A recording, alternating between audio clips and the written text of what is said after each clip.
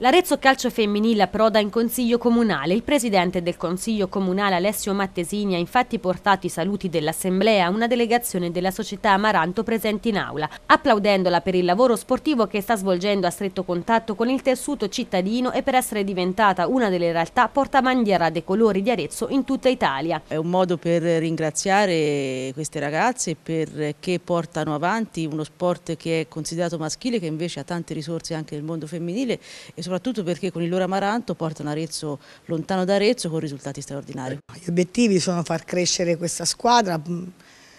e soprattutto mentalmente, che è importante perché avendo preso un allenatore come Manuela Tesse, queste ragazze avevano bisogno di capire cos'è un calcio professionista e soprattutto di salvarci. Lo scorso 21 ottobre l'Arezzo Calcio Femminile aveva organizzato al campo sportivo Roberto Lorentini la manifestazione sportiva In Gioco per Gioco, una partita del cuore in salsa retina volta a raccogliere fondi per l'Empa di Arezzo, nel corso della quale si erano sfidati a suon di reti oltre alla prima squadra Amaranto, il team giornalisti e la rappresentativa del Consiglio Comunale che da subito ha sposato lo spirito e l'intento benefico dell'evento.